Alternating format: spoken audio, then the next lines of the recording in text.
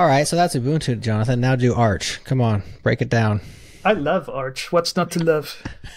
the, the, problem with Arch is, and the reason why we don't all use Arch is it doesn't have stable releases. So if you want to install it on 5,000 servers or use it in your enterprise um, or even in your university, it, it just changes too fast. You don't want your web server is not starting one day because the config file format changed uh, at last night's upgrade or something like that.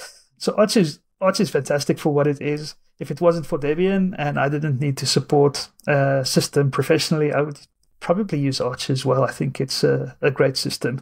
There are a lot more lax on certain things that than we are. So in Debian, for example, when you package something new in Debian, uh, Debi- a Debian developer or packager needs to go through all of the source code and document the copyright of literally every file in that upstream source tarball uh, in the Debian copyright file in, in Arch, they just look at what the GitHub page says, and if it says it's MIT licensed or GPL, they basically just have a tag that says this is the license of this package.